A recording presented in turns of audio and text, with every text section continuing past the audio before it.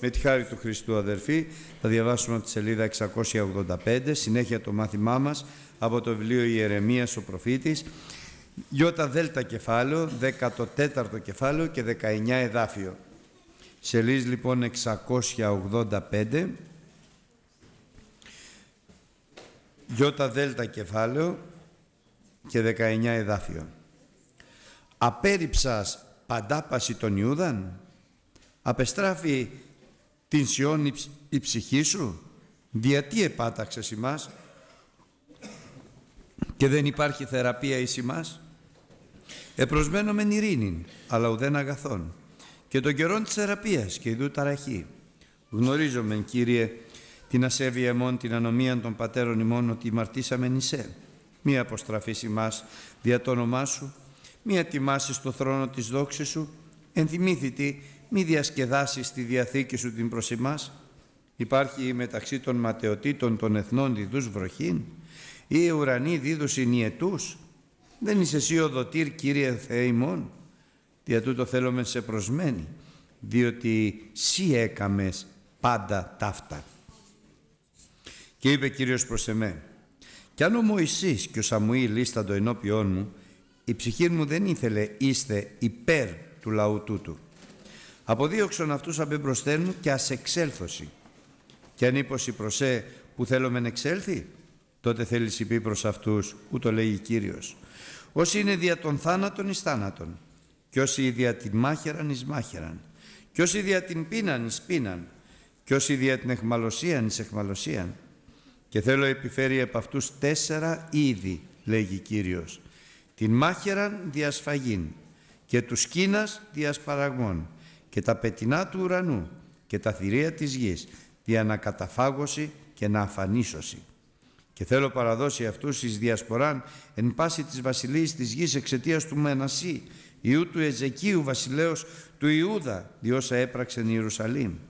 Διότι τις θέλει σε ικτήρι Ιερουσαλήμ ή τις θέλει σε συλληπιθεί ή τις θέλει στραφεί για να ρωτήσει πως έχεις. «Σύ με εγκατέλειπες», λέει η Κύριος, «ή πήγες στα οπίσω, δια τούτο θέλω εκτείνει τη χείρα μου επί και θέλω σε αφανίσει.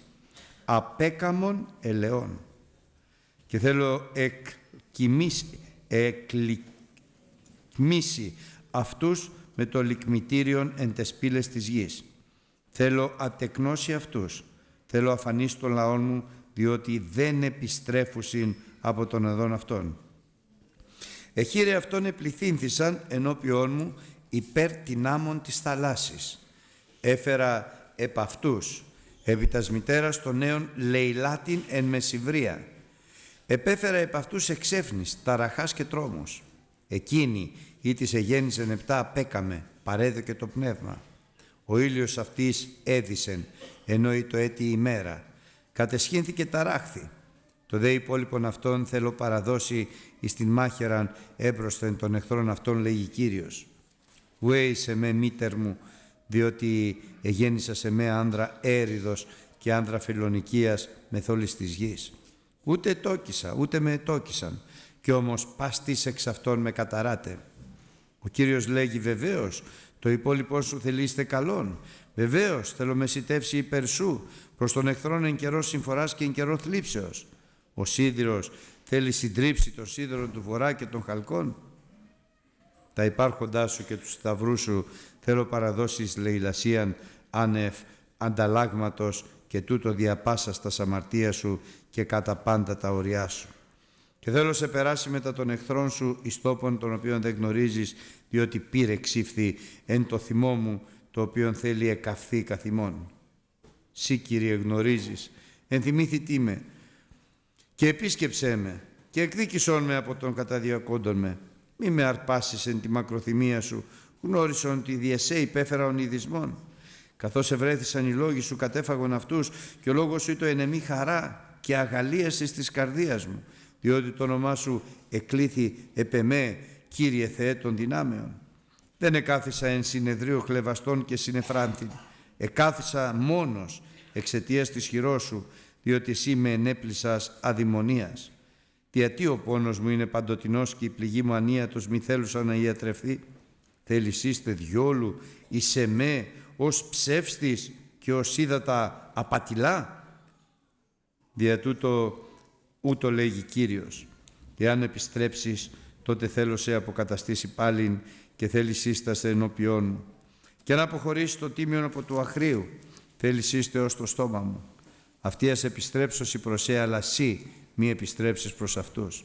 Και θέλω σε κάνει προς τούτον των λαών οχυρών χαλκούν τείχος και θέλω σε πολεμήσει, αλλά δεν θέλω υπερισχύσει εναντίον σου, διότι εγώ είμαι με τα σούδια να σε σώζω και να σε ελευθερώνω, λέγει Κύριος, και θέλω σε ελευθερώσει εκ της χειρός των πονηρών και θέλω σε λυτρώσει εκ της χειρός των καταδυναστευόντων. Αμήν.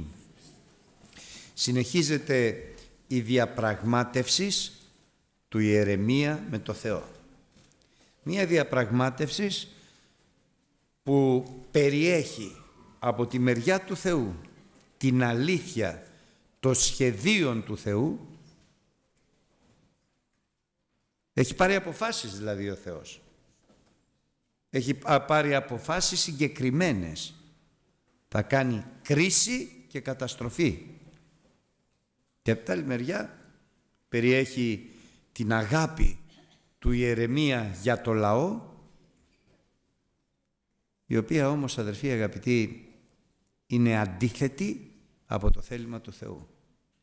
Πολλές φορές ο Θεός του είπε «Μην προσεύχου πλέον υπέρ του λαού αυτού». Σταμάτα να προσεύχεσαι για αυτόν τον λαό. Μην προσεύχου υπέρ του λαού αυτού.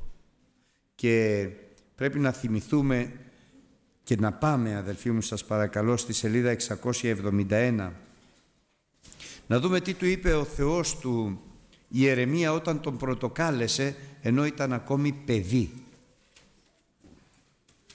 Διαβάζω από το πρώτο κεφάλαιο και το 18 εδάφιο. Ιερεμίας πρώτο κεφάλαιο, 18 εδάφιο, σελίς 671.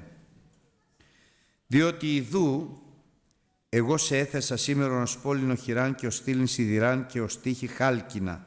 Προσέξτε. Εναντίον, και όχι υπέρ, εναντίον πάσης της γης. Εναντίον των βασιλέων του Ιούδα. Εναντίον των αρχόντων αυτού. Εναντίον των ιερέων αυτού και εναντίον του λαού της γης. Και αυτοί θέλουν σε πολεμήσει, αλλά δεν θέλουν υπερισχύσει εναντίον σου. Διότι εγώ είμαι μετά σου, για να σε ελευθερώνω, λέει Κύριος. Θεός λοιπόν έθεσε τον Ιερεμία εναντίον του λαού του Ισραήλ να προφητεύει. Αυτός όμως προσεύχεται υπέρ του λαού. Και ο Θεός το δέχεται και μακροθυμεί αν και αυτό το θεωρεί παράβαση. Αν και αυτό δεν είναι σύμφωνα με το θέλημά του όπως θα δούμε στο τέλος. Ο Ιερεμίας λοιπόν χωρίς να λάβει υπόψη του με λεπτομέρειες το Λόγο του Θεού, χωρίς να λάβει καταρχάς, χωρίς να λάβει υπόψη του και τη φωνή του Θεού στο τέλος, του δίνει εντολή μην προσεύχου για αυτόν τον λαό, συνεχίζει να προσεύγεται μάλιστα με μεγαλύτερη ένταση και με μεγαλύτερο παράπονο παντάπαση μας απέριψας. Απεστράφει εντελώς η ψυχή σου από τη Σιών. Γιατί έπραξα, ε, γιατί επάταξα ημάς και δεν υπάρχει θεραπεία εις ημάς. Προσμέναμε ειρήνη, αλλά ουδέν αγαθόν. Και τον καιρόν της θεραπείας προσμέναμε και να ταραχή και εξομολογείται γνωρίζομεν Κύριε την ασέβεια ημών, την ανομία των πατέρων ημών ότι μαρτήσαμεν εισέ. Σε παρακαλώ μην αποστραφείς ημάς ένεκεν του ονόματός σου. Μην ατιμάσεις τον θρόνον της δόξης σου, το ναό του Σολομώντα, το ναό το δικό σου. Θυμήσου και μη διασκεδάσεις τις υποσχέσεις και τη διαθήκη σου προς εμάς ή την παραβείς. Λες για έθνη μακράν ότι θα φέρεις. Υπάρχει μεταξύ των ματαιοτήτων των εθνών ειδούς βροχήν. ή ουρανοί δίδους ιετούς. Θα ευλογήσεις τα έθνη. Υπάρχει Θεός ευλογίας στα έθνη, στους απίστους. Εσύ δεν είσαι ο δοτήρ των αγαθών εις ημάς, Κύριε. Εμείς δεν είμαστε ο λαός σου. Τα αγαθά για μας δεν τα έχεις ετοιμάσει. Δια τούτο θα σε προσμένουμε γιατί εσύ έκανες όλα αυτά. Επιμονή. Εδώ θα τολμούσα να προσθέσω επιμονή γεμάτη συνέστημα. Γιατί λέω γεμάτη συνέστημα; Γιατί είναι επιμονή σε αντίθεση με το θέλημα, με το λόγο, με την πρόθεση και με τα σχέδια του Θεού. Και συνέστημα μπορούμε να πούμε ότι κυριαρχεί στη ζωή του ανθρώπου όταν προσπαθούμε να επιβάλλουμε στο Θεό τις απόψεις μας τις οποίες θεωρούμε ότι είναι σωστές και μάλιστα όταν είναι γεμάτες από αγάπη δική μας. Όμως αδελφοί αγαπητοί η αγάπη και θέλω να το διαβάσουμε αυτό γιατί είναι πάρα πολύ σημαντικό να το έχουμε πάντοτε μέσα στην καρδιά μας. Είναι από την επιστολή του Αποστόλου Ιωάννου τη δεύτερη στη σελίδα 1084. Και μάλιστα ο Απόστολος Ιωάννης είναι ο μαθητής της αγάπης. Και λέει στο έξι εδάφιο «Και αυτή είναι η αγάπη, η αγάπη του Θεού, να περιπατώμεν κατά τα σεντολάς αυτού». Πριν φτάσω όμως σε αυτό πρέπει να διαβάσω και το προηγούμενο εδάφιο. «Και εγώ σε παρακαλώ Κυρία Εκκλησία, ουχίως γράφων προς εντολή νέαν, αλλά εκείνη την οποία είχαμε να απαρχείς, να αγαπώμεν αλλήλους, ναι, να αγαπώμεν αλλήλους. Να αγαπώμεν αλλήλους είναι η εντολή του Κυρίου. Αλλά πάντοτε με τον περιορισμό ότι η αγάπη που ευαρεστεί το Θεό είναι να περπατάμε πρώτα κατά τις εντολές αυτού. Αγαπώμεν αλλήλους αλλά σύμφωνα με το θέλημα του Θεού. Που τι σημαίνει αυτό; Πολλά μακροθυμούμε, συγχωρούμε, δικαιολογούμε, υποφέρουμε, υπομένουμε, αλλά δεν παραβαίνουμε το Λόγο του Θεού. Δεν πάμε ενάντια σε αυτά τα οποία ο Θεός σχεδιάζει, προφητεύει και λέει. Τώρα ο Ιερεμίας εκφράζει έντονα παράπονα. Και όταν παραπονιέται ο άνθρωπος του Θεού στο Θεό τα λόγια του ακούγονται σκληρά στα αυτιά του Θεού. Εσύ τα έκαμες όλα αυτά. Γι' αυτό που σε προσμένουμε. Μας απογοήτευσες.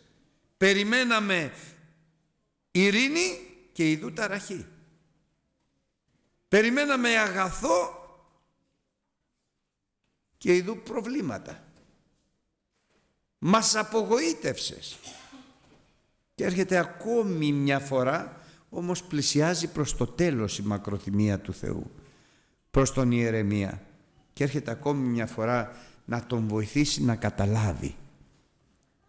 Και είπε ο Κύριος προς εμέ, «Και αν ο Μωυσής και ο Σαμουήλ ήσταν το ενώπιόν μου και προσεύχονταν υπέρ του λαού αυτού, η ψυχή μου δεν θα επέστρεφε υπέρ του λαού τούτου. Πού βάζεις τώρα τον εαυτό σου Ιερεμία, πάνω από το Μωυσή και το Σαμουήλ.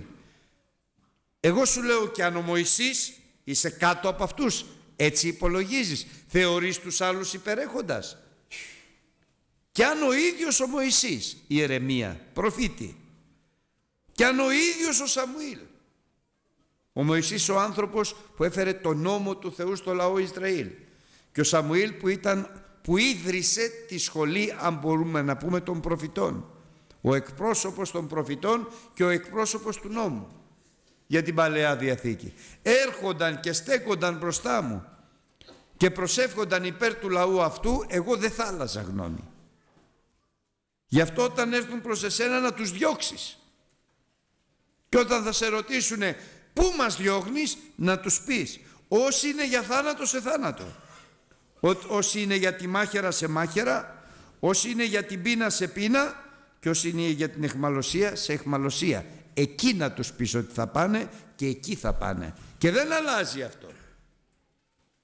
Και όχι μόνο αυτό, θα επιφέρω και τέσσερα είδη κακών εναντίον τους. Μάχεραν δια της σφαγή. Σκύλους για το σπαραγμό. Πετινά του ουρανού και τα θηρία της γης για να τους καταφάγουν και να τους αφανίσουν. Και τούτο γιατί δεν επιστρέφουν εκ τους οδού αυτών. Έχουν πάρει και αυτοί σοβαρές αποφάσεις και δεν επιστρέφουν.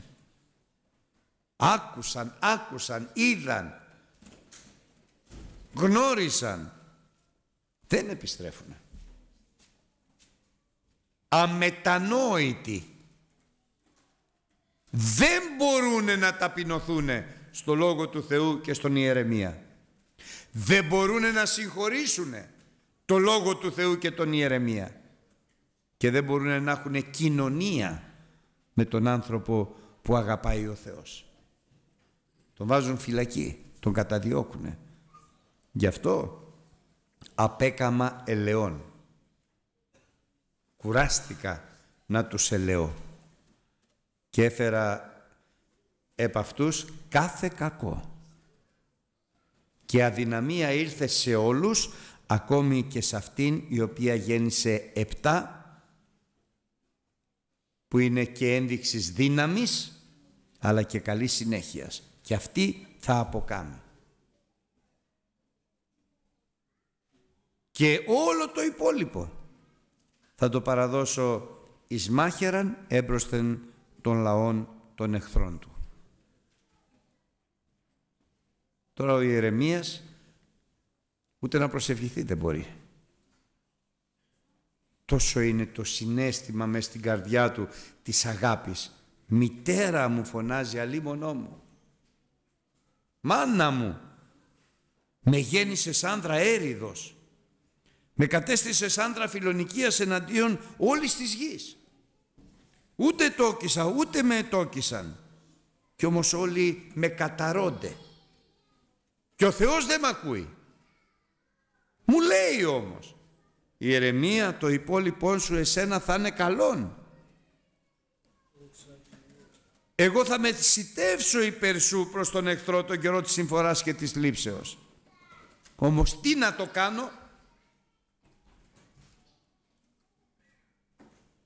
Τι να το κάνω; Είναι δυνατόν ο σίδηρος να συντρίψει το σίδερο του βορρά και των χαλκών; Είναι δυνατόν να έρθουν ξένα έθνη να καταστρέψουν την οικογένειά μου, τη συγγένειά μου, το λαό μου, την πατρίδα μου, τα σπίτια μας, το ναό σου; Και ο Θεός τώρα χάνει τη μακροθυμία του. Τώρα αλλάζει πρόσωπο. Και τα δικά σου τα υπάρχοντα και τους δικούς σου θησαυρούς θα παραδώσω εις λαιλασίαν άνευ ανταλλάγματος. Και λέει και κάτι που είναι πολύ ενδιαφέρον αδερφοί. Να το ακούσουμε. Και τούτο για όλες τις αμαρτίες σου και σε όλα τα όρια σου. Ξεπέρασες τα όρια. Ξεπέρασες τα όρια της μακροθυσμίας μου.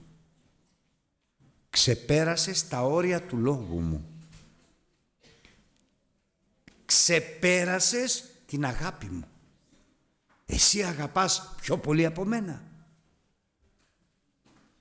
Εσύ είσαι πιο αγαθός από μένα. Και θα περάσεις κι εσύ μετά των εχθρών σου στον τόπο που δεν γνωρίζεις. Γιατί πήρε ξύφθη εν το θυμό μου και θέλει εκχαθεί εναντίον όλων ημών. Ο Θεός να μας φυλάει από αγάπη πιο μεγάλη από αυτή που έχει ο Θεός. Είναι αδερφοί αγαπητοί τρομακτικό αμάρτημα στα μάτια του Θεού. Να είσαι πιο μακρόθυμος από το Θεό. Εκεί που ο Θεός δεν μακροθυμεί, εσύ να επιμένεις να μακροθυμείς. Εκεί που ο Θεός τρέφει την πλάτη του, εσύ να τρέχεις να αγκαλιάζεις. Να το πω πιο καλά για την ανάγκη να το καταλάβουμε. Είναι δύο τα προβλήματα που μπορούμε να πέσουμε. Σαν χριστιανοί και σαν άνθρωποι. Να μην χωνεύουμε και να μην αγαπάμε αυτούς που αγαπάει ο Θεός. Έτσι θα το καταλάβουμε πιο καλά. Αυτόν τον αγαπάει ο Θεός. Ο Θεός είναι μαζί του. Αλλά εγώ τον αντιπαθώ. Ο Θεός τον ευλογεί. Αλλά εγώ ζηλεύω. Θυμηθείτε τον πρεσβύτερο Υιό στη συμπεριφορά του με τον μικρότερο Υιό. Ο πατέρας έλεγε «Ε, νεκρός ήταν και ανεστήθη. Και ο, και ο πρεσβύτερος τι έλεγε άσωτος ήτανε και τον δέχεσαι. Μα είναι παιδί μου και απολολός ήταν και ευρέθη. Έφαγε την περιουσία σου. Ζώνα σώτος. Είναι πολύ σοβαρό να διαφωνούμε με το Θεό. Σκληρά τα λόγια μας όταν παραπονιόμαστε στα λόγια του Θεού. Να πω ένα άλλο παράδειγμα. Λέει ο Θεός. Όποιος είναι πόρνος μέσα στην εκκλησία να τον αποβάλεις. Τον πόρνο να τον αποβάλεις. Ούτε να συντρώγεις με αυτόν. Και έρχομαι εγώ και λέω. Τον αγαπάω Κύριε. Ξέρεις τι καλό παιδί που είναι;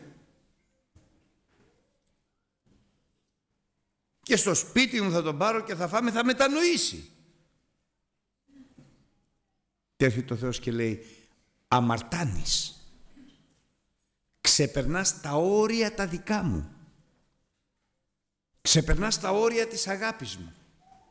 Ξεπερνάς τα όρια της μακροθυμίας μου.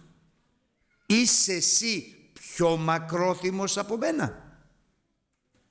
Έχεις εσύ πιο πολύ αγάπη από μένα. Θυμάμαι μια φορά γιατί είναι πολύ σοβαρά αυτά τα πράγματα αδερφοί στην προσωπική μας ζωή. Θυμάμαι μια φορά είχε έρθει ο πατέρας και η μητέρα μιας κοπέλας που ήταν 21 χρονών αναγεννημένη, βαφτισμένη με πνεύμα Άγιο την είχαν παντρέψει με το ζόρι 15-16 χρονών αυτός ήταν ένας μασκαράς, να μην πω τίποτα περισσότερο και στα 18 χρόνια χωρίσανε. Στα 19 την επισκέφθηκε ο Θεός, την αναγέννησε και τη βάφτισε με πνευμάγιο. Και έρχεται ο πατέρας της. Μα δεν είναι άδικο να μείνει ανήπαντρη η κόρη μου. Και έχω μπροστά μου τώρα δύο καταστάσεις. Πολύ σοβαρές. Πάρα πολύ σοβαρές. Τη μία είναι τον πατέρα με το λογικό επιχείρημα. Και την άλλη το Λόγο του Θεού με την απόλυτη αλήθεια. Και τώρα εγώ πρέπει να πάρω θέση. Και με παρακολουθεί ο Θεός. Να δει τι θέση θα πάρω. Να σας πάω πριν απαντήσω, πριν προχωρήσω σε ένα άλλο θέμα. Λέει ο Θεός στο Σαούλ πήγαινε να σκοτώσεις όλους τους Αμαλικίτες και όλα τα υπάρχοντά τους να τα καταστρέψεις. Μην κρατήσεις τίποτα για σένα. Ναι. Και πηγαίνει ο Σαμουήλ. Και λέει ο Σαμουήλ, καθώς πλησιάζει το Σαούλ, όλα εντάξει, όλα εντάξει. Ό,τι μου είπε ο Θεός το έκανα. Και ακούει ο Σαμουήλ. Δελάσματα προβάτων. Όλα λέει τα έκανες, όλα τα έκανα. Λέει και αυτά που ακούω εγώ τι είναι; Αυτά είναι τα καλύτερα πρόβατα που εγώ τα κράτησα για να τα θυσιάσω στο Θεό. Δηλαδή εσύ ξέρεις πιο καλά από το Θεό. Και ο βασιλιάς, ε, το βασιλιά να το σκοτώσουμε τον καημένο. Φαίνεται καλός άνθρωπος, μετενόησε. Τι βάζεις πιο πάνω; Και απαντάει ο Σαμουήλ στο, στο Σαούλ. Δεν το ξέρεις ότι δεν θέλω θυσία αλλά υπακοή. Η υπακοή είναι μεγαλύτερα όλων των θυσιών. Και ο Θεός μας δοκιμάζει. Αλλού λέει Ανάμεσά σας εγείρεται ένας προφήτης και προφητεύει και γίνεται. Και νυπνιάζεται νύπνιο και γίνεται. Και μετά έρχεται και σας λέει πάμε έξω από το Λόγο του Θεού και συνεχίζει. Προσέξτε γιατί αυτή τη στιγμή ο Θεός δοκιμάζει την καρδιά σας να δει Είστε άνθρωποι που μένετε στερεοί και αμετακίνητοι στο Λόγο του Θεού. Ή οδηγήστε με την επιθυμία της καρδιάς σας. Και ήρθαν και αυτή η οικογένεια. Εσείς επιμένα θα παντρέψει την κόρη μας.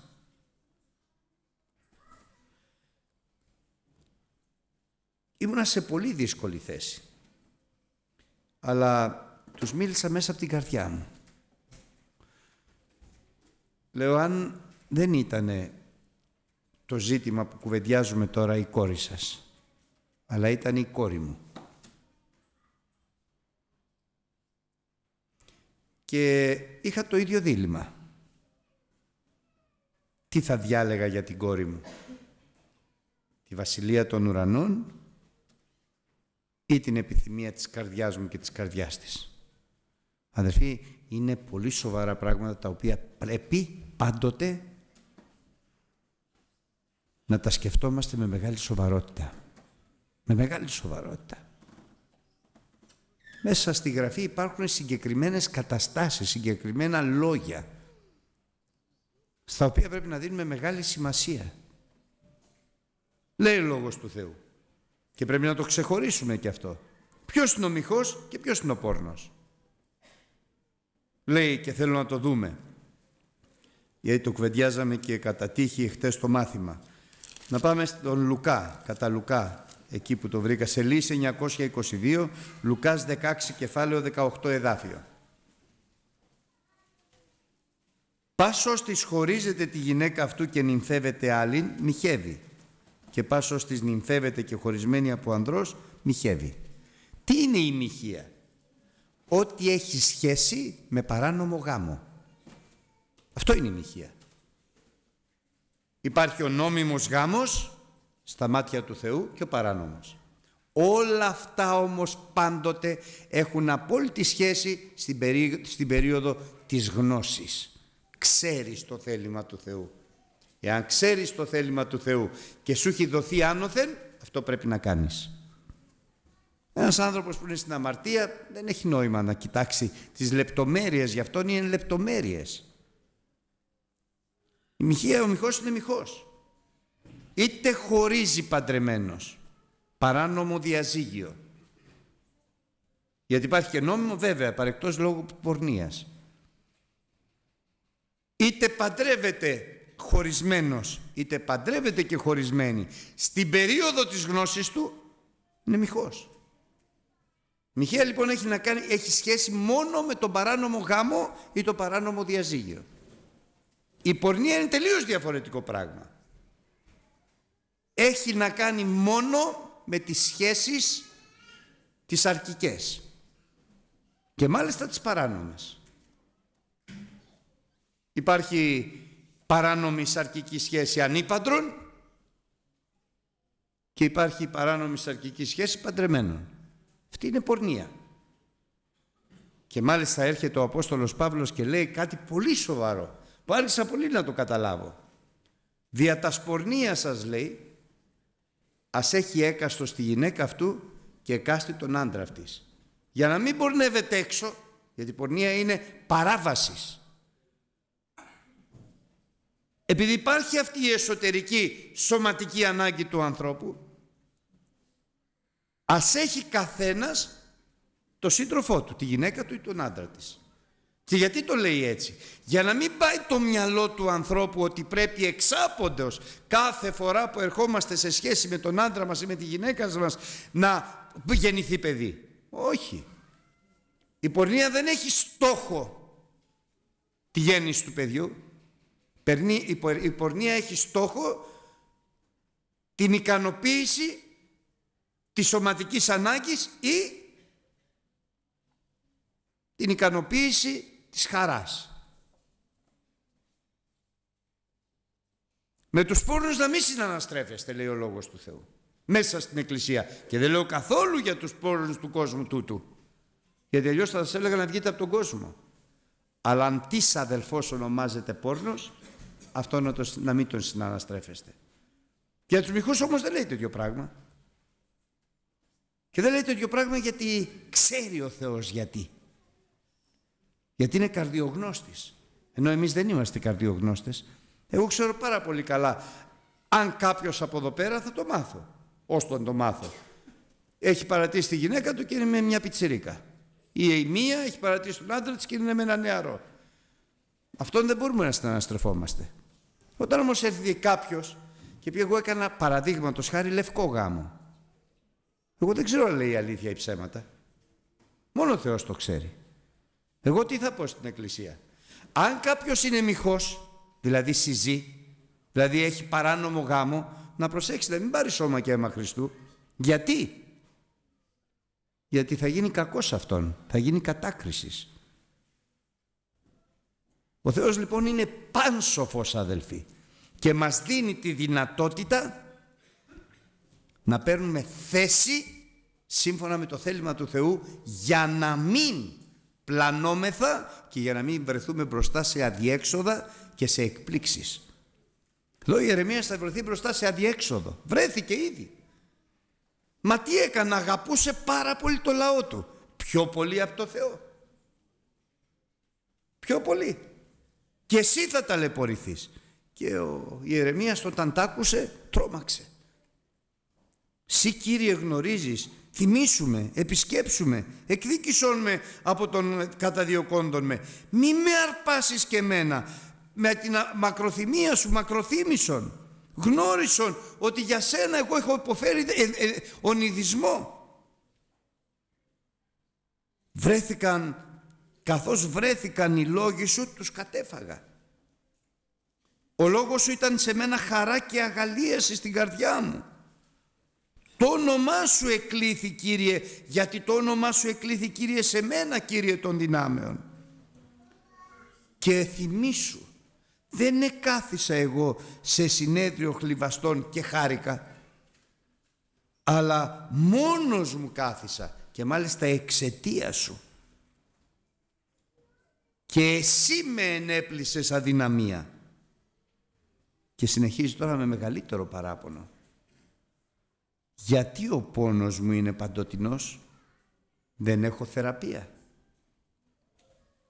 Γιατί η πληγή μου είναι ανίατος, δεν θα θεραπευθώ. Κύριε θα είσαι σε μένα εντελώς ψεύτης.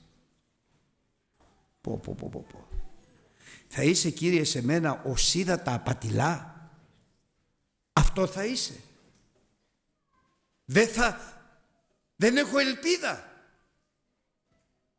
Όπως όλοι, έτσι κι εγώ. Και έρχεται ο Θεός τώρα και δίνει λύση στο πρόβλημα που βρέθηκε ο Ιερεμίας από την παράβαση που δεν κατάλαβε. Από την αγάπη που ήταν συναισθηματική και ξεπέρασε τα όρια του Θεού. Όπως με έχει ρωτήσει κάποτε ένας αδελφός. Τι είναι συνέστημα; Συνέστημα είναι ότι ξεπερνάει το Λόγο του Θεού. Αν είναι αγάπη, αν ξεπερνάει το Λόγο του Θεού. Αν είναι αντιπάθεια, αν ξεπερνάει το Λόγο του Θεού. Αν είναι αδιαφορία, αν ξεπερνάει το Λόγο του Θεού. Συνέστημα είναι όταν οδηγεί το άνθρωπος από την επιθυμία της καρδιάς του. Χωρίς να λογαριάζει το Λόγο του Θεού και την υπακοή που οφείλει στο Λόγο του Θεού. Και έρχεται ο Θεός τώρα να βάλει τα πράγματα στη θέση τους. Εάν επιστρέψεις η ερεμία, γιατί εγώ σε έθεσα εναντίον και όχι υπέρ του Ιούδα. Και εσύ είσαι υπέρ του Ιούδα και εναντίον μου, λέει ο Θεός. Εσύ παίρνεις θέση απέναντι από μένα. Εγώ δεν θέλω να είσαι απέναντι από μένα, εγώ θέλω να είσαι πίσω από μένα. Εγώ δεν θέλω να αντιστέκεσαι σε μένα, εγώ θέλω να υποτάσσεσαι σε μένα. Και μη δικαιολογείς την καρδιά σου και την ψυχή σου με, την, με τα συναισθήματα της καρδιάς σου που φαίνονται αγαθά. Όπως αγαθά ήταν και τα συναισθήματα του Σαούλ. Τι κακό έκανα. Τα καλύτερα πρόβατα τα φύλαξα για να τα φάω. Αλλά για να τα θυσιάσω στο Θεό. Και ο Θεός του λέει επειδή παρεύεις το λόγο μου και εγώ σε έβγαλα από το να είσαι βασιλιάς. Και θα βρω άλλον καλύτερον από σένα. Μα ήταν καλύτερος ο Δαβίδ από τον Σαούλ. Ξέρετε ότι ο Σαούλ δεν έπεσε σε καμία αμαρτία. Ο Δαβίδ έπεσε σε τρομακτική αμαρτία. Όμως ο Δαβίδ είναι ο αγαπητός του Θεού. Και ο Σαούλ είναι αυτός που απέρριψε ο Θεός. Επειδή απέρριψα στο λόγο μου και εγώ απέρριψα εσένα. Και όταν ο άνθρωπος απορρίπτει το λόγο του Θεού ενσυνείδητα, από λάθος δεν πειράζει. Θεός μακροθυμεί. Τα λάθη μας δεν τα λαμβάνει υπόψη του. Όταν όμως ο άνθρωπος του Θεού ξέρει και απορρίπτει το λόγο του Θεού, εκεί τον απορρίπτει ο Θεός. Εκεί αποκαλύπτεται η οργή του Θεού.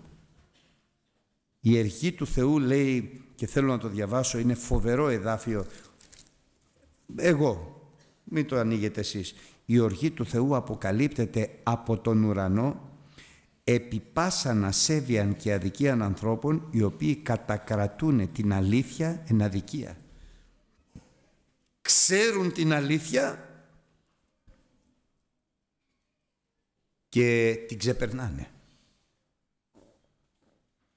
Γνωρίζουν το θέλημα του Θεού και δεν το λογαριάζουν. Είτε από υπερβολική συμπάθεια, για να μην πω αγάπη, που ξεπερνάει τα όρια του Θεού, είτε από υπερβολική αντιπάθεια, έλλειψη αγάπης που ξεπερνάει τα όρια του Θεού. Υπάρχει τώρα σωτηρία στον Ιερεμία, βέβαια.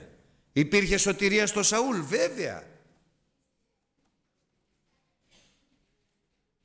Υπάρχει σωτηρία σε μας όταν κατακρατούμε εν αδικία την αλήθεια, όταν ξέρουμε, βέβαια. Γιατί μπορεί όχι μόνο από συνέστημα, αλλά και από φόβο να πέσουμε σε αυτή την παράβαση. Φοβάμαι. Δεν το αντέχω αυτό. Δεν σε ρωτάει ο Θεός αν αντέχεις κάτι. Σου λέει θέλεις να με ακολουθήσεις. Με αγαπάς. Και αυτός που με αγαπάει είναι αυτός που κάνει το θέλημά μου.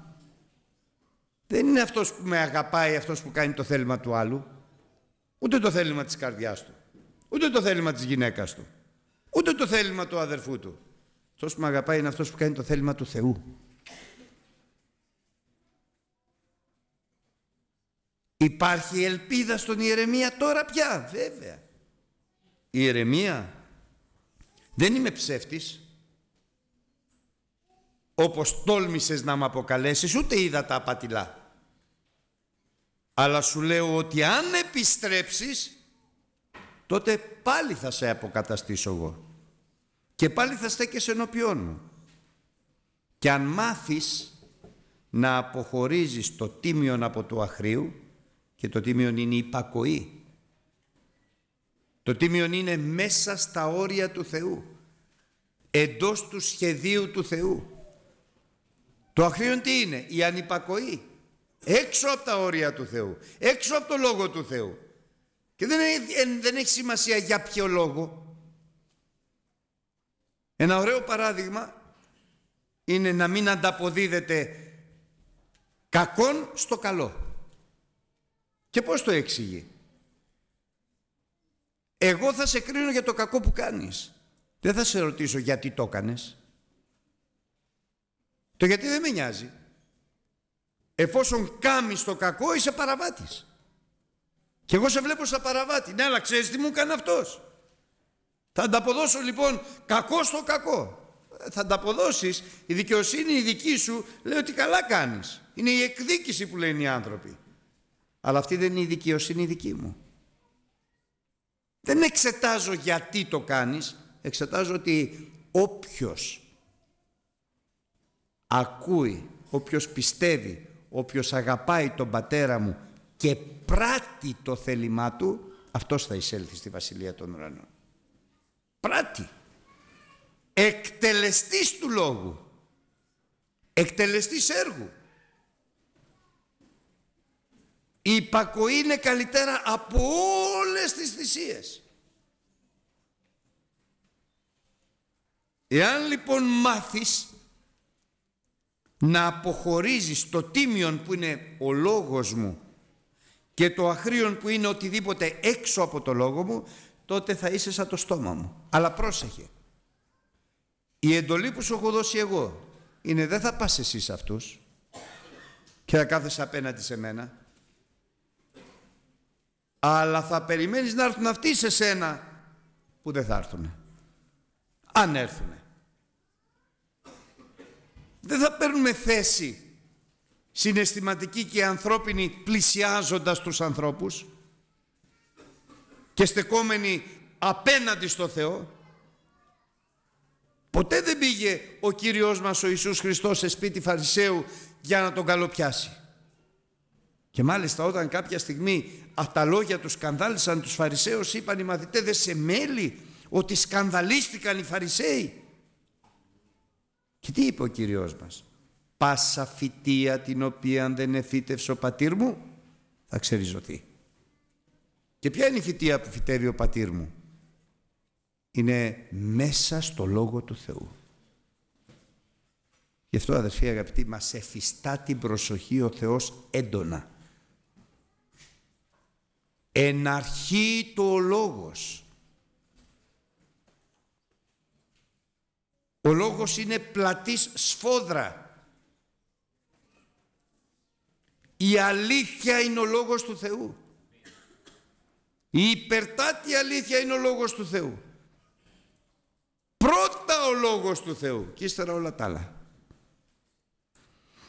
Πρώτα η υπακοή και εσύ η ερεμία αντί να περιμένεις να έρθουν αυτοί προς εσένα πας εσύ προς αυτούς. Θυμάμαι κάποτε που μου είπε κάποιος έναν ωραίο τρόπο ευαγγελισμού, φοβερό δηλαδή. Λέει, είχε δύο κοπέλες νεαρές και όμορφες και τις έστελνε στα καμπαρέ, στα κλαμπ, στα μπαράκια για να βρούνε ανθρώπους να τους μιλήσουν για το Χριστό και να πιστέψουν.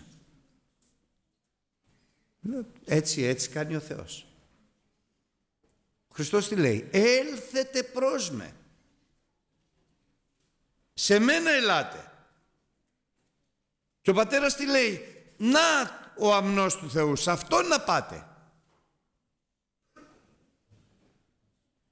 Εγώ είμαι, έχω ακούσει και αυτό, εγώ είμαι μια χαρά. Στην εκκλησία δεν έρχομαι, αλλά αγαπάω το Θεό, προσεύχομαι, μια χαρά είμαι. Μα έτσι λέει η Γραφή. Και θα πας καλά. Και θα πας καλά. Εγώ βρήκα μια εκκλησία άλλο. Που εκεί βρήκα την ελευθερία μου, όχι σαν και εσάς. Δηλαδή, εκεί με αφήνουν και βάφω τα μαλλιά μου, το έχει πει η κοπέλα. Δεν βλέπεις τι ωραία που είμαι. Φοράω παντελόνια. Μ' αφήνουν όλα, μα εσείς δεν αφήνετε κανέναν. Λέω γιατί όταν είχες έρθει στην εκκλησία σου είπε κανείς να μην φοράς παντελόνια. Άμα θες φορά.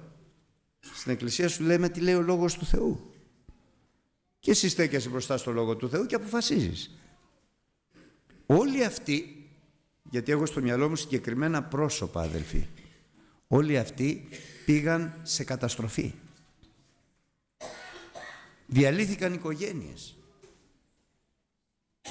μία αδελφή καλή, αναγεννημένη, βαφτισμένη με πνεύμα Άγιο. Τη βρήκα στον δρόμο, λέει ελευθερώθηκα. Δόξα στο Θεό. Έχει καιρό να έρθει στην εκκλησία. Μπράβο λέω. Και εγώ έλεγα με την έννοια ελευθερώθηκες αλλά έρχεσαι στην εκκλησία. Λέω από τι ελευθερώθηκες; Από εσά. Ω λέω κύριέ μου. Γιατί τι σου κάναμε; Τι σου κάναμε; Δεν με βλέπεις. Λέω σε βλέπω. Και αυτό που βλέπω είναι ελευθερία. Αυτό που βλέπω είναι ελευθερία. Καπνίζεις. Ε, λέει, ένα τσιγαράκι λέει. Εσείς λέει το απαγορεύετε. Το λέει ο Λόγος του Θεού. Ε, θα ψάξω και άμα το βρω θα σου το πω. Δεν είναι αστεία πράγματα αδερφοί. Με το Λόγο του Θεού δεν μπορούμε να παίζουμε.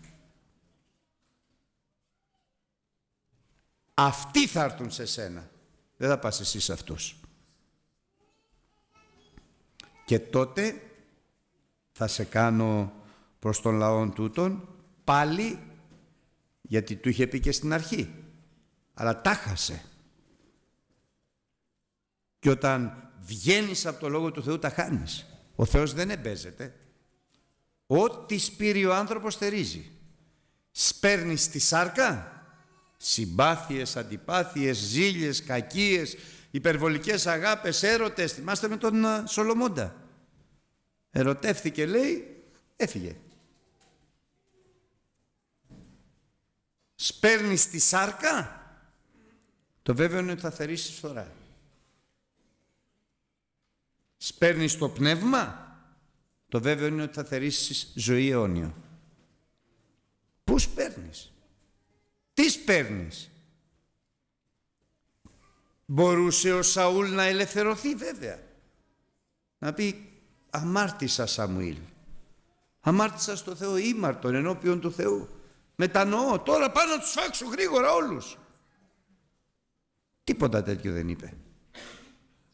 Τίποτα. Αντιθέτως.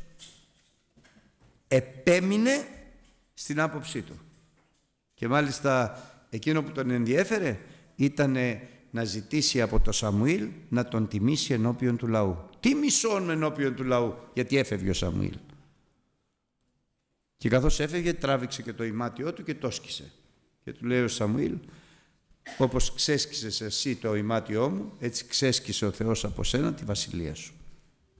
Το αποτέλεσμα τους Σαούλου ξέρετε ποιο ήτανε. Πνεύμα πονηρό ετάρατε αυτόν. Το Πνεύμα το Άγιο λυπείται, το Πνεύμα το Άγιο σβήνει, αλλά και το Πνεύμα το Άγιο αποσύρεται. Και αν το Πνεύμα το Άγιο αποσυρθεί, τότε θα επιστρέψει το πνεύμα το πονηρό, θα δει τον οίκον καθαρόν και δεν μπει μέσα, αλλά θα πάει να βρει άλλα 7 δαιμόνια. Χειρότερα, πονηρότερα από αυτόν. Και θα κατοικήσουν μέσα του και τα έσχατα θα γίνουν χειρότερα των πρώτων. Την αδυναμία ο Θεός δεν τη λαμβάνει υπόψη του. Την άγνοια ο Θεός δεν τη λαμβάνει υπόψη του. Όταν όμως σου είναι δεδομένο όταν ξέρεις, τότε εκεί υπάρχει ενοχή. Εκεί υπάρχει ευθύνη. Και την ευθύνη δεν θα την παρουσιάσω εγώ σε σένα, ούτε εσύ σε μένα. Γιατί εγώ δεν ξέρω την καρδιά σου, όπως και εσύ δεν ξέρεις την καρδιά μου. Εγώ δεν ξέρω τη δύναμή σου, όπως και εσύ δεν ξέρεις τη δύναμή μου. Εγώ δεν ξέρω τον αγιασμό σου και τις αντοχές σου και τα όρια σου, όπως εγώ δεν ξέρω τον εσύ δεν ξέρεις τον αγιασμό μου, τις αντοχές μου και τα όρια μου. Γι' αυτό δεν έχουμε καμία, κανένα δικαίωμα να κρίνουμε. Μας το απαγορεύει ρητός. Μην κρίνετε για να μην κρυθείτε. Μην κατακρίνετε για να κατακριθείτε. Μην καταδικάζετε γιατί θα καταδικαστείτε. Η κρίση και η εκδίκηση ανήκει σε μένα λέει ο Θεός. Εσείς κάντε στην άκρη και δώτε τόπο στην οργή. Καταλαβαίνετε αδερφοί αγαπητοί ότι τα πράγματα μέσα στην Εκκλησία του Χριστού δεν είναι απλά. Καθόλου απλά. Υπάρχει μια διδασκαλία που λέει όποιος αναγεννήθηκε δεν χάνεται η ψυχή του. Εδώ πέρα ο Θεός όλο μας λέει προσέχετε. Θα έλεγα αν το μεταφέρω στην Παλαιά Διαθήκη. Δεν είχε αναγεννηθεί ο Σαούλ αφού είχε λάβει και πνευμάγιο. Χάθηκε. Αν χάθηκε λέει. Αν χάθηκε λέει. Άνθρωποι από την Καινή Διαθήκη δεν έχουν χαθεί. Έχουν χαθεί λέει. Ο Δημάς που πήγε στον κόσμο ήταν συνεργάτης του Παύλου. Αλλά αγάπησε λέει τον παρόντα κόσμο.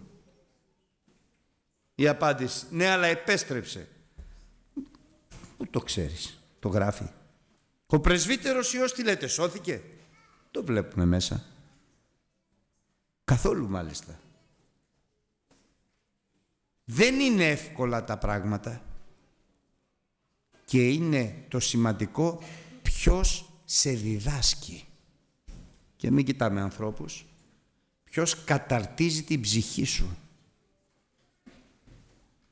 Αν αυτός που σε διδάσκει είναι ο Χριστός και καταρτίζεις από τον Χριστό, τότε θα φτάσεις στο πλήρωμα της ηλικίας του Ιησού Χριστού.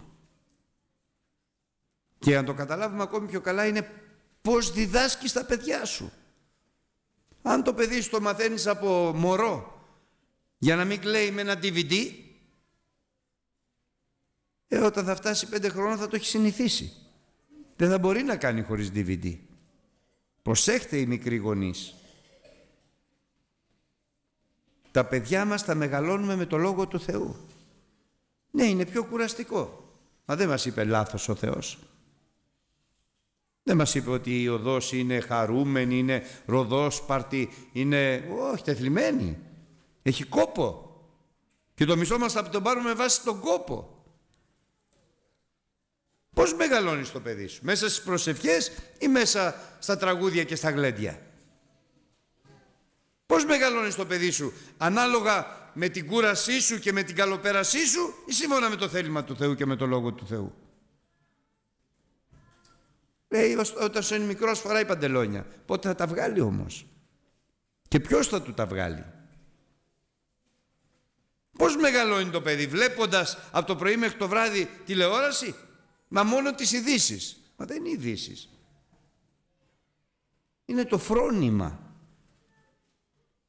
Μπέστε σε ένα σπίτι που μεγαλώνει παιδιά με τηλεόραση και δέστε ότι τα παιδιά μετά όταν μεγαλώσουν και θα μου πείτε αν θα τα δείτε να είναι στον Χριστό. Δεν μπορεί να μείνει στον Χριστό. Αφού παίρνει τη σάρκα θα θερήσεις φθορά. Δεν γίνεται. Γιατί χάνουμε τα παιδιά μας, γιατί εμείς φταίμε. Κάνει χάρη ο Θεός και επιστρέφει όταν μεγαλώσουνε. Κάνει. Αλλά όχι πάντα. Αλλά όχι πάντα. Δεν είναι εύκολα τα πράγματα στην Εκκλησία. Η Εκκλησία δεν έχει νόμο. Όλα γίνονται με τη χάρη του Χριστού. Είναι βέβαιο είναι αυτό. Αλλά στον άνθρωπο που θέλει. Στον άνθρωπο που ενδιαφέρεται να απολαμβάνει τη χάρη του Θεού. Στον άνθρωπο που έχει μάθει να αποχωρίζει το τίμιον από το αχρίο. Εάν τα βάλουμε όλα αχταρμά, έλα να κάνουμε τώρα φασουλάδα και να βάλουμε και φακές μέσα. Τι θα κάνεις, φασουλάδα ή φακές; Δεν γίνεται όλο αχταρμά. Δεν γίνονται όλο αχταρμά.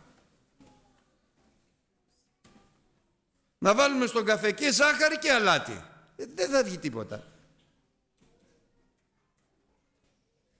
Πρέπει να μάθουμε να αποχωρίζουμε στη ζωή μας. Αγαπητοί αδελφοί, σας παρακαλώ. Επί προσωπικού επίπεδου. Επί οικογενειακού επίπεδου. Και ιδιαίτερα επί εκκλησιαστικού επίπεδου. Να αποχωρίζουμε το τίμιον από το αχρίον. Όσο το αφημάς.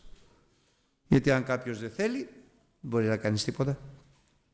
Δεν θέλω. Και έπειτα στο τέλος τέλος δεν ξέρεις αν αυτός πραγματικά δεν θέλει ή δεν μπορεί. Γι' αυτό λέω ότι ο Θεός είναι καρδιογνώστης. Ερευνά καρδίας και νεφρούς. Δεν μπορεί. Και άμα δεν μπορεί ο Θεός λέει δεν πειράζει παιδί μου, εγώ θα σε βοηθήσω. Θέλω να κόψω το τσιγάρο, έλεγα, αλλά δεν μπορώ. Με βόηθησε και το κόψα. Δεν μου πει κανείς, επειδή καπνίζεις φύγε. Ποτέ κανείς μες στην εκκλησία, τον ερχόμενο προς εμέ, δεν θέλω εκβάλει έξω. Κανείς μέσα στην Εκκλησία δεν βγάζει έξω. Εκτός αν το λέει το Λόγος του Θεού. Τον πόρνο, μη συναναστρέφεστε με τον πόρνο. Και λέει εσείς περηφανευτήκατε λέει ο Παύλος στην Εκκλησία των Κορινθίων. Και ενώ υπάρχει ο πόρνος μέσα ο οποίος πορνεύει με τη γυναίκα του πατέρα του εσείς χαίρεστε αντί να πενθείτε. Εκβάλλατε αυτόν εκ μέσου σας διότι ο λίγη ζήμη κάνει όλο το φύραμα ένζημο.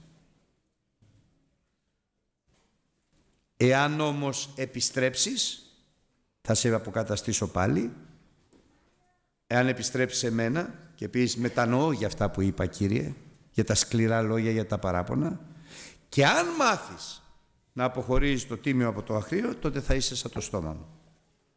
Και αν μάθεις να μην πηγαίνεις εσύ σε αυτούς, τρεις προϋποθέσεις, αλλά να έρχονται, να περιμένεις να έρχονται αυτοί σε σένα, τότε θα σε καταστήσω προς τον λαό τούτον οχυρών χαλκούν τείχος, θα σε πολεμήσουνε αλλά δεν θα υπερισχύσουν εναντίον σου. Φοβάμαι να με πολεμήσουνε. Είναι αυτό που λέγαμε. Και ο φόβος μπορεί να σε κάνει να μην αποχωρίζεσαι. Φοβάμαι. Μη φοβάσαι, θα σε πολεμήσουνε, στο λέω, μας το λέει ο Θεός. Γιατί όταν βάζεις μάχαιρα θα έχεις πόλεμο. Θα έρθουν όλοι εναντίον σου. Εσύ όμως θα μένεις στο Λόγο του Θεού και όλοι να έρθουν εναντίον σου, κανείς δεν θα σε υπερισχύσει. Δεν πρόκειται να υπερισχύσουμε. Γιατί εγώ θα είμαι μαζί σου να σε σώζω και να σε ελευθερώνω. Εγώ θα σε ελευθερώνω από τα χέρια των πονηρών και θα σε λυτρώνω από τα χέρια των καταδυναστευόντων. Ποιος έχει πιο μεγάλη δύναμη, ο Λόγος του Θεού ή οι άνθρωποι που τα βάζουν εναντίον σου; Σε καμία περίπτωση ο άνθρωπος αδερφοί. Ο Κύριος είναι ο παντοδύναμος. Εμείς λοιπόν θα φεύγουμε και θα πηγαίνουμε πίσω από τον Χριστό. Μένοντας μέσα στα όρια του Λόγου του Θεού. Όταν κάτι δεν ξέρουμε, δεν πειράζει. Όταν όμως κάτι το ξέρουμε καλά, τότε πειράζει και καίει. Και μη φοβάσαι. Ο Θεός θα είναι μαζί σου. Ο Θεός θα προπορεύεται, ο Θεός θα σε ελευθερώνει και ο Θεός θα σε σώζει και ο Κύριος θα μας ευλογεί όλους. Αμήν.